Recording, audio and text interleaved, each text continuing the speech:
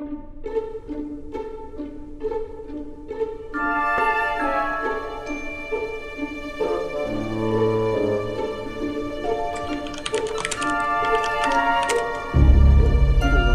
not detectable. So imagine that the cleaner, you call for the cleaner. The Royal Institute of Technology in Stockholm. But this runs basically, it says A handful of scientists gather to test their robot. It should be able to place the items down in the box on the floor. It doesn't look so difficult, but this is the road into the world of science fiction. once we have robots that can do things we humans do on a daily basis, these robotic systems can take over some of the jobs that are potentially dangerous for humans. Such as working in big chemical companies. They can help with things that are boring for humans, such as, for example, helping in a food store to put things um, in shelves, or do things that in some way um, uh, destroy our body, such as, for example, helping nurses in um, uh, hospitals uh, to change uh, bed clothes, or helping them to lift somebody that cannot move from a bed.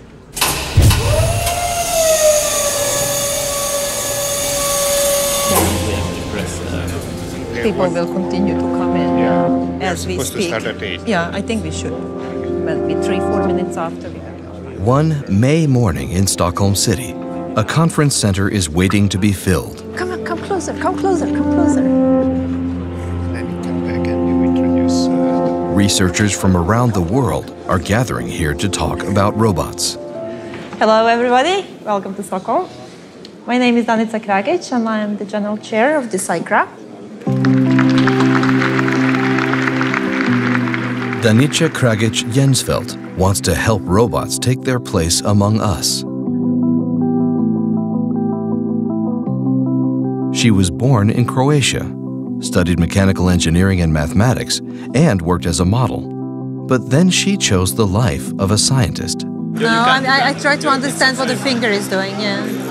Oh, no. This is a firm handshake. She took detours via several top universities in the US, but always while keeping the Royal Institute as her home base.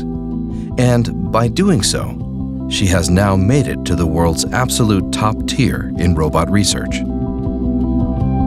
Today, she is the one who is leading this, the world's largest conference on robotics. That, uh, potentially, this platform would be used to uh, test entrainment. So, how a human and the robot hold something together and how the robot basically gets uh, entrained. But this is not what you're doing.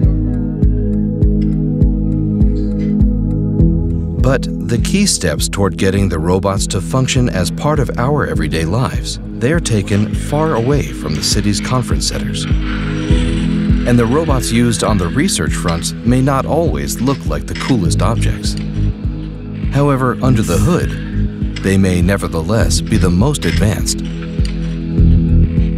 The robot which is training here will participate in a worldwide competition which will soon be held in Germany.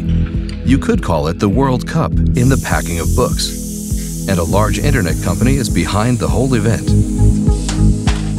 And this is all really difficult because our world is shaped around us. It's made for humans. May I take your hat and coat? So to do a simple task, like taking down a book, the robot must see things the way we see them, make decisions like us, The term fun is meaningless to a robot, sir. and move like we do. The first problem is then to understand what is what. Danica usually shows an example using her own daughter. Uh, Isabel here, one and a half years, she has understood the shape of a chair, but not yet the function of a chair. So the chair is too small for her to sit on, and she will need, or her brain, still some time to understand that through experience. In the same way as we program robots, we need to teach them that shape and function need to fulfill uh, certain requirements that we humans have.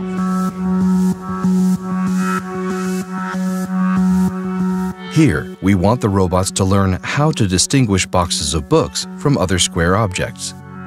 Humans can do this easily because we have been training with this sort of thing subconsciously throughout our entire childhood. But to write down this know how as programmable code is difficult. Then the actual movement itself is prepared. With two cameras, human vision and distance determination can be replicated. And with advanced mathematics and programming, the robot can then stretch out its hand in real 3D. And then it is time for the almost impossible. A very simple example that we humans do almost without thinking is to uh, manipulate keys. So you need to pick them up, you need to move them in your hands in order to be able to actually hold the key so to open the door. And here we use the fine motions of the fingers, but also um, um, uh, upper body motion. And this is something that is very difficult for robots to do today.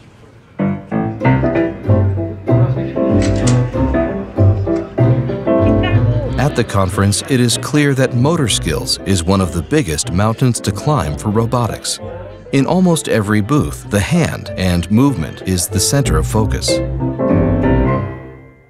And then I will twist 10 seconds for an answer. The thing is that if I call for an object that uh, I this don't is just detects connection. So what's the object you're looking for? Now it doesn't exist. So Okay. right there. Now Okay. And now it will be put to the test. A combination of those abilities under development. The robot has to be able to look and decide which object is the right one to grab. Must determine exactly where that thing is. And then, the hard part. To grasp it with a human-like motion to set the item in its box.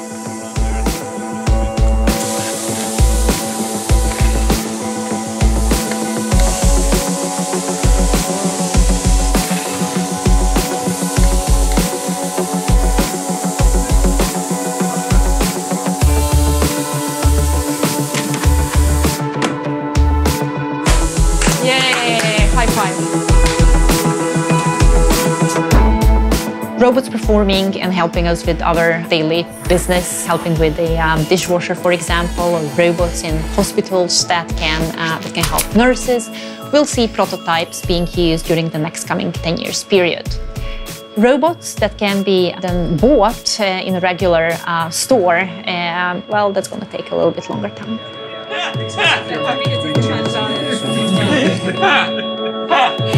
it works every time.